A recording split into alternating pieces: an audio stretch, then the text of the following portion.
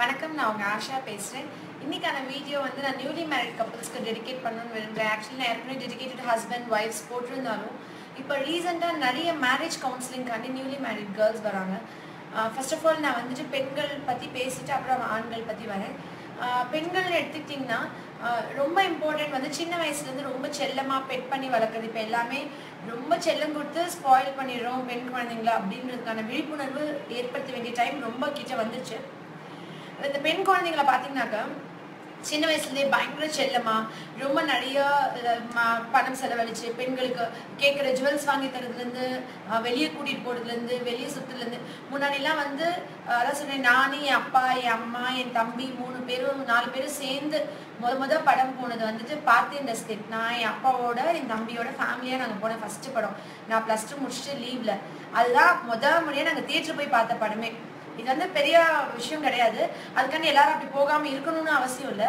அந்த அளவுக்கு வந்துட்டு நாங்கள் ஒரு விஷயம் எல்லாமே பார்த்து பிரமிச்ச விஷயம் வந்து டே டு டே லைஃப்ல ரொம்ப காமனான ஒரு ட்ரெண்டான விஷயம் வந்துட்டு வெளியே சுத்துறதுன்னு ஆகுது. இது என்ன ஆகுதுன்னா ரொம்ப நிறைய வெளியே எக்ஸ்போஸ் ஆகி வெளியே நிறைய ஃப்ரெண்ட்ஸோட கேர்ள்ஸ் வந்து ரொம்ப நிறைய சுத்தி அந்த அப்படி இருக்கிற பிள்ளைங்க வந்து மேரேஜ் ஆகிட்டு திடீர்னு ஒரு வீட்டுக்குள்ள இருக்க சுச்சுவேஷனோ இல்லை மேரேஜ் ஆகி நிறைய பெண்கள் வேலை பார்க்குறாங்க.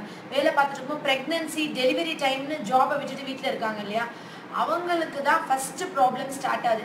எதுக்கு காமனாக நம்ம expose ஆகிருக்கோம் we are used to it நிறைய வெளியே போய் நம்ம வெளியே ஸ்பெண்ட் பண்ணி லாவிஷாக மணி வேல்யூஸும் பெருசாக உண்மையாவே ஆம்பளை பசங்களுக்கு இப்போ ஓரளவுக்கு மணி வேல்யூ தெரியுது பெண் குழந்தைங்களுக்கு கம்மி தான். நம்ம வீட்டில் இருக்கிற ஒவ்வொரு பெண் குழந்தை நம்ம எடுத்து பாருங்களேன். மணி வேல்யூஸ் வந்து ரொம்ப எதை வச்சு இதை சொல்றேன்னா ரீசெண்ட் மேரேஜ் கவுன்சிலிங் ஒரு பொண்ணு வந்திருந்தாங்க. அவங்க வந்துட்டு அவங்க அம்மா உயிரோட இல்லை. அந்த அவங்க அப்பா தான் இருந்தாங்க சிஸ்டர்ஸ் இருக்காங்க. அந்த பொண்ணு என்ன பண்ணாங்கன்னா நான் வந்து டூ இயர்ஸ் ஒர்க் பண்ணிட்டு இருந்தேன் அப்புறம் நான் மேரேஜ் முடிச்சு குழந்தைக்காண்டி தான் நான் ஜாபை டிசைன் பண்ணேன். நான் வந்து ஆனால் என் ஹஸ்பண்ட் வந்து ஒவ்வொரு தடவை செக்அப் போகும்போதும் இவ்வளோ செலவாகுது அப்படின்னு சொல்லிட்டு இருந்தாங்க. அவர் ரொம்ப கஞ்ச பிஸ்னாரியா இருக்காரு ஸ்டிஞ்சியா இருக்காரு. அதாவது அறுபதாயிரம் சம்பாதிச்சா இருபதாயிரம் சேர்த்து வச்சுட்டு நாற்பதாயிரம் நம்ம செலவழிக்கலாம் தானே. இன்னைக்கு வந்து அவருக்கு பெரிய விஷயம் கிடையாது. நாளைக்கு வந்து குழந்தை பிறந்து டெலிவரி முடிச்சு ஒரு த்ரீ இயர்ஸ்க்கு அப்புறம் நான் ஜாப் போயிடுவேன் இந்த படத்தில் நான் சம்பாதிச்சு கூட கொடுத்துருவேன். அம்மா உயிரோடல இல்லை. நான் இது என் அப்பா கிட்ட கேட்க முடியாது. நான் கேட்க விரும்பல. இவர் தானே எனக்கு ஸ்பெண்ட் பண்ணும் இவர் வந்து ஒரு ஆட்டோக்கு இது பண்ண ஒரு தடவை போயிட்டு வந்தா ஒரு ஃபோர் தௌசண்ட் ஆயிடுது அப்படின்னு ரொம்ப வருத்தப்படுறாரு. ஆஹ் இது வந்து எனக்கு ரொம்ப ஸ்ட்ரெஸ் ஆகுதுன்னு என்கிட்ட வந்தாங்க. நான் அப்போ அந்த பொண்ணுக்கிட்ட எனக்கு என்ன வருத்தமாக இருந்ததுன்னா நான் அந்த பொண்ணுக்கிட்ட கேட்டேன் மேரேஜுக்கு முன்னாடி டூ இயர்ஸ் நீங்கள் ஒர்க் பண்ணீங்க அதே மாதிரி ஃபார்ட்டி தௌசண்ட் செலவழிச்சிட்டு நீங்கள் டுவெண்ட்டி தௌசண்ட் டூ இயர்ஸ் சேர்த்து வச்சுருந்தீங்கன்னா இன்னைக்கு இது உங்கள் ஹஸ்பண்ட் கிட்ட கூட நீங்கள் டிபெண்ட் பண்ணவும் தேவையில்லை ஏன்னா அப்போ நீங்கள் வந்து உங்களுடைய எக்ஸ்பென்சஸை நீங்களே பார்த்துக்கலாம். ஆமாம் நான் இப்போ ரெக்ரேட் பண்ணுறேன் இப்போ எனக்கு புரியுது. நான் வந்து பின்னாடி வேலைக்கு போனதுக்கப்புறம் நான் கண்டிப்பாக இனிமேல் சேர்த்து வைப்பேன். அதாவது என்ன நடக்குது ப்ராப்ளம் என்ன நடக்குது? ஒரு நியூலி மேரிட் கப்பிள்ஸ்க்கு அப்படின்னா கல்யாணம் பண்ண உடனே ஒரு பெண் வந்து என்ன நினைச்சுக்கிறாங்கன்னா நம்ம வந்து ஒரு பார்பி டால் மாதிரி ஒரு சிண்ட்ரலா மாதிரி ஒரு பயங்கர சினிமேட்டிக்கா மேரிட் லைஃப்க்கு அவங்களுக்கு இருக்கிற எக்ஸ்பெக்டேஷன் ஏன்னா சின்ன வயசுலேயே ஜாலியாக படிச்சுட்டு பெரிய ஆம்பிஷன் கிடையாது பெரிய தேடல் கிடையாது. கல்யாணம் பண்ணுறது லைஃப் செட்டில் ஆகுறது. இதுதான் அல்டிமேட் அந்த டார்கெட் ஆஃப் லைஃப் அதோட அதோட அவங்க டார்கெட் ரீச் பண்ணுற வரைக்கும். மாதிரி நினச்சிடுறாங்க.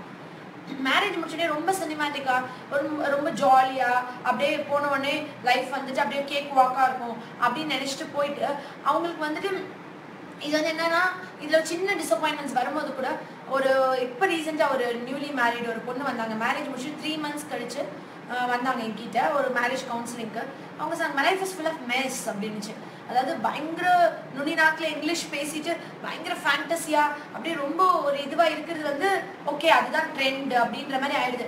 நாலு பேர் கண்டினியூஸாக மொபைல் ஃபோன்ஸ் யூஸ் பண்ணா நம்மளும் ஃப்ரெண்ட் ஒரு ஃப்ரெண்ட் கூட மொபைல் ஃபோனில் சேட் பண்ணோன்னு யூஸ் ஆயிரும் இல்லையா? விளம்பரங்கள் நிறைய பார்த்தா அந்த விளம்பரத்தில் இருக்கிற ப்ராடக்ட்ஸ் வேணும்னு ஒரு சின்ன குழந்தை கேட்குது இல்லையா? தொட்டில் பழக்கம் சுடுகாடு வரைக்கும் சொல்லுவாங்க. ஐந்து வயசு வரைக்கும் ஒரு குழந்தைக்கு நம்ம என்ன சொல்லி தரோமோ அதுதான் வாழ்நாள் முழுக்கும் அதே மாதிரி தான் இந்த மேரேஜ் முடிச்சு ஃபர்ஸ்ட் ஒன் இயர் ஆஃப் லைஃப்ல இவங்களை வந்துட்டு ரொம்ப நம்ம திண்டாடி ரொம்ப கஷ்டப்படுற பெண் குழந்தைகள அது அவங்க லைஃப் டைமுக்கு அது ரிஃப்ளெக்ட் ஆகுது. அந்த டைம்ல வந்து ஈஸியாக ஹஸ்பண்ட் டீஸ் பண்ணாலோ இல்லை கிண்டல் பண்ணாலோ இவர் ஏதாவது சர்க்காஸ்டிக்காக நம்ம பேசிட்டா கூட அது கணவன் மனசுல ஒரு தழும்பாயிருது. ஆண்கள் பத்தி நான் தனி வீடியோல பேசுறேன். இது இந்த பெண்கள் என்ன பண்றாங்கன்னா ஒரு பீரியட் ஆஃப் டைம்க்கு அப்புறம் இவங்களுக்கு என்ன ஆகுதுன்னா அந்த குக்கிங்கோ எல்லாருமே வந்தோடனே சொல்றது எனக்கு சமைக்க தெரியாது எனக்கு எந்த வேலையும் பார்க்க தெரியாது பட் நான் அவருக்காண்டி நான் செஞ்சேன். நான் சமைச்சேன் நான் வந்து அவருக்கு பிடிச்சதெல்லாம் செஞ்சு கொடுத்தேன். நான் வீட்டு வேலைகள் எல்லாம் பார்த்தேன். நான் அவ்வளோ செல்லமா வளர்ந்தேன். நான் வந்துட்டு அவர் ஸ்பாம்பர் சைல்ட் நான் வந்துட்டு எந்த வேலையும் பார்த்ததில்ல. ஆனால் இப்போ வந்து பண்ணேன்றாங்க இல்லையா? அவங்க எல்லாமே ஒரு ஒன் இயர் டூ இயர்ஸ்ல when come for marriage counselling அவங்க என்ன நினைச்சுக்கிறாங்கன்னா அதாவது வேலை பார்க்கறது நம்ம டே டு டே ஆக்டிவிட்டி நம்ம வயசுக்கு சாப்பிட்றதோ நம்மளோட இது சாப்பிட்றதோ வந்து நம்மளுடைய தினசரி வாழ்க்கையோட ஒரு வேலை அப்படின்றது இல்லாமல் அது ஏதோ புது டார்கெட் ஒரு பெரிய ராக்கெட் லான்ச் பண்ணுற மாதிரி ஒரு விஷயமா நினச்சி அதுக்குள்ளே நுழைஞ்சு ஒன் இயர்க்கு அப்புறம் அதை தே ரிப்பீட் இட் என்கிட்ட வரவங்க உங்க ஹஸ்பண்டோட என்ன ப்ராப்ளம் குடிச்சிட்டு வந்து டெய்லி அடிக்கிறாரா? இல்ல பயங்கரமா உன சந்தேகப்படுறாரா என்னோட டார்ச்சர் பண்றாரா? அப்படின்னா எனக்கு பெருசா அவர் லவ் ஃபீல் பண்ணல. நான் பெருசா அவர்கிட்ட எதுவுமே இது இல்லை. நான் வந்துட்டு அவருக்காண்டி சமைச்சேன். ரிப்பீட்டடா ஒரு ஹண்ட்ரட் டைம் சொல்லிடுவாங்க. நான் வந்து கத்துக்கிட்டேன். எல்லாமே புதுசா என்ட்ரானேன் நான் ரொம்ப கஷ்டப்பட்டேன் அப்படின்னு அவங்க வந்து அதெல்லாம் ஒரு அவங்களுக்கு ஒரு சேச்சுரேஷன் வந்துடுது. சின்ன வயசுல இருந்தே அவங்க யூஸ் ஆகாம எக்ஸ்போஸ் ஆகாம இருக்கிற வேலைகளை திடீர்னு கல்யாணத்துக்கு அப்புறம் அவங்க செய்யும் போது அந்த கல்யாணம் முடிச்ச அந்த ஆர்வத்துல ஜோஷ்ல லவ்ல வந்து ஒரு நாலுல இருந்து ஆறு மாசம் சமைக்கிறாங்க. அதுக்கப்புறம் அவங்களுக்கு அது வந்து டெய்லி நம்மளே சமைக்கணுமா? இதை பண்ணணுமான்றது தி ரீச் தே சேச்சுரேஷன் அவங்க அந்த சேச்சுரேஷன் ரீச் ஆயிட்ட உடனே இதெல்லாம் அவங்களுக்கு ஒரு பெரிய தியாகம் மாதிரி லைஃப்ல ஒரு கஷ்டம் மாதிரி வருது. இதில் நான் என்ன பதிவு பண்ண விரும்புகிறேன்னா ஒவ்வொரு அம்மாக்களுக்கும் நம்ம என்னைக்கு நம்ம குழந்தைய வந்து என்ன சொல்லுவோன்னா எந்த வீட்டில் இப்போ எனக்கு என் அப்பா உயிரோட இல்லை. நான் வந்து சப்போஸ் எனக்கு ஒரு இஷ்யூஸ் என்னோட நான் திரும்பி போறேன்னா எனக்கு அங்கே பேக்கப் இல்லைன்னும் போது நான் இந்த ஒரு வருஷத்துக்குள்ள முட்டி மோதி நம்ம எல்லாமே கஷ்டப்பட்டு தலையை உருண்டு we get settle with that நம்மளுக்கு அது புரிஞ்சிடும். ஓகே இதுதான் அப்படின்னு நம்ம அடாப்ட் ஆயிடுவோம். அந்த ஒன் இயர்க்குள்ள அடாப்ட் ஆகாம எதுக்கு எடுத்தாலும் அம்மாக்கோ அப்பாக்கோ ஒரு பெண் குழந்தை கால் பண்றாங்க. டெய்லி ஆக்டிவிட்டிஸ் அதாவது மொபைல் ஃபோன் வந்து மொத்தமாவே அடுத்து என்னோட வீடியோ வந்துட்டு நிறைய பேர் கேட்டிருக்காங்க. மொபைல் ஃபோன்ஸ் வந்து அடிக்ஷனோ அந்த அதோடைய ஹசார்ட்ஸ் பத்தி பேச சொல்லி அதான் பேச போறேன். பட் இப்போ நான் என்ன சொன்னா டோட்டலா ஒரு நாளைக்கு நைன்டீன் மினிட்ஸ் தான் மொபைல் ஃபோன் யூஸ் பண்ணலாமா? ஆனா அந்த நியூலி மேரிட் பெண்கள் வந்து என்ன பண்றாங்கன்னா நான் ரொம்ப இந்த கவுன்சிலிங்ல பேசின விஷயம் வந்து ஒரு நாளைக்கு மினிமம் ஒன் ஹவர் வரைக்கும் அம்மா கிட்ட ஃப்ரெண்ட்ஸ் கிட்ட பேசுறாங்க. என்ன ஃப்ரெண்ட்ஸ் கிட்ட அப்படி பேச அதான் எனக்கு சந்தோஷத்தை கொடுக்குது அதான் என் மைண்ட் ரிலாக்ஸ் ஆகுது. நான் அது கூட பேசக்கூடாதுன்னு சொல்றாங்க. நான் அது பேசினா ஐ க்ரோ மேட் இதெல்லாம் அவங்க வந்து the very cinematic they're not original அந்த லைஃபோட அவங்க இன்னும் மேர்ஜே ஆகல. ஆனால் the think that they over billion over confident இல்லை எல்லாமே எனக்கு தெரியுன்ற மைண்ட் செட் இது எனக்கு ரொம்ப வருத்தமா இருக்கு.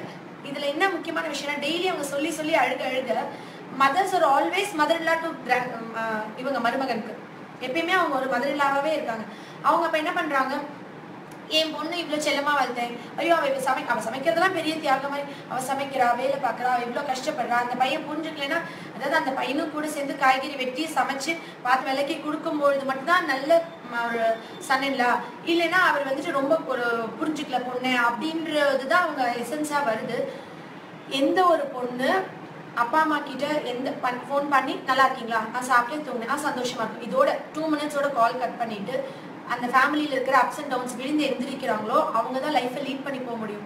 எந்த ஒரு பெண் வந்துட்டு அவங்க அப்பா வந்து என் பொண்ணு நான் அவ்வளோ செல்லமாக வளர்த்தேன். என் பொண்ணு நான் அவ்வளோ கஷ்டப்பட்டு வளர்த்தேன். அவள் இப்படி கஷ்டப்படணும் தேவையில்ல. அவள் இப்படி அழுதுட்டு வாழணும் தேவையில்ல. நான் நல்லா இருக்கேன். எனக்கு கை கால் நல்லா இருக்கு. எனக்கு நல்ல பணம் காசு வசதி இருக்கு. என் பொண்ணையே நான் வளர்த்துட்டேன். என் பொண்ணையும் அது ஒரு குழந்தைய என்னால் வளர்க்க முடியாதா? நான் வளர்த்துக்கிறேன். அப்படின்னு சொல்ற எல்லா அப்பாவுக்கும் பொண்ணு வாழா வெட்டியாவோ டிவோர்ஸியாவோ வந்து வீட்டில் இருக்கும். அதுக்கு ரீமேரேஜ் பண்ணாலும் அது லைஃப்ல ரெக்ரெட் பண்ணும்.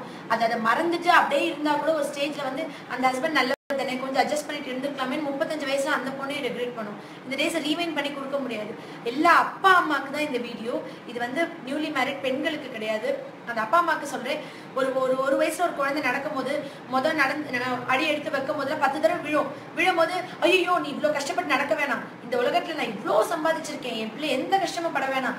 நான் இருக்குமோ நீ இவ்வளவு கஷ்டப்படணுமா? நீ நடக்கவே வேணாம்னு ஒரு வயசுல இருந்து ஐம்பது வயசுக்கு இடுப்புல தூக்கி வச்சுட்டு நம்ம வளர்க்கல விழுந்தா அதுதான் லைஃப் பரவாயில்ல எந்திரி கமான் என்கரேஜ் பண்ணி கை தட்டி நடக்க வச்சு அது விழுகிறது கூட ரசிச்சு அச்சச்சோ விழுந்துட்டியா அப்படின்னு கொஞ்சி இந்த மாதிரி பண்றோம்ல.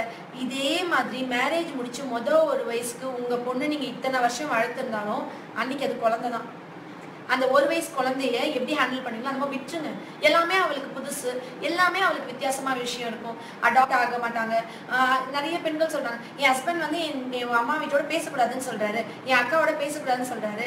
நான் எப்படி திடீர்னு அவங்க எல்லாம் மறந்துட்டு எல்லாத்தையும் விட்டுட்டு நான் இவரோட வந்துட முடியுமா?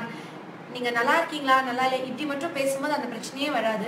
நீங்க அதை தாண்டி go a step they misguide you உண்மையான சுச்சுவேஷன் என்ன நடக்குதுன்னு தெரியாது. நீங்க தான் அவங்களுக்கு ரிலேஷன்ஸ் நீங்க அழுகும் போது தாங்கிக்க முடியாம உங்க மேல இருக்க அன்புல தி மிஸ்கைட் யூ அதனால இந்த ரிலேஷன்ஷிப் விட்டு நீங்கள் கம்ப்ளீட்டாக வெளியே வரணும் அப்படின்னா ஃபர்ஸ்ட் ஒன் இயர் ஆஃப் லைஃப்பில் டைம் ஸ்பெண்ட் பண்ணுறது புரிஞ்சுக்கிறதுக்கு ட்ரை பண்ணுறது எல்லாமே உங்கள் ஹஸ்பண்ட் கிட்ட உங்களுக்கு புது விஷயமா இருக்கும். அந்த டைமில் ப்ளீஸ் உங்கள் ஃப்ரெண்ட்ஸோடையோ கம்பேர் பண்ணுறாங்க ரொம்ப ரொம்ப வந்துட்டு if they start to compare the husbands இவனை மாதிரி எக்ஸ்பெக்ட் பண்ண அவனை மாதிரி எக்ஸ்பெக்ட் பண்ண எந்த எக்ஸ்பெக்டேஷன்ஸ் இல்லாமல் this what God has chosen for me இந்த பிறவில கடவுள் எனக்கு தேர்ந்தெடுத்து கொடுத்த கணவர் இவர் தான் இதுக்கப்புறம் ஷாருக் கான்ல அமீர் கானே வந்தால் கூட இஸ் ஜஸ்ட் பி அட்மயர்ட் ஒரு டைம் பாஸ்க்கான விஷயம் தான் அது. இதுதான் நம்மளோட ஒரிஜினல் லைஃப் இதுதான் ரியாலிட்டி இவரோட எவ்வளோ சந்தோஷமா வாழும். இவரோட எவ்வளோ பெஸ்ட்டாக வாழும். இன்னொரு முக்கியமான விஷயம் நியூலி மேரிட் கேர்ள்ஸ் என்ன வேணா இருக்கட்டும்.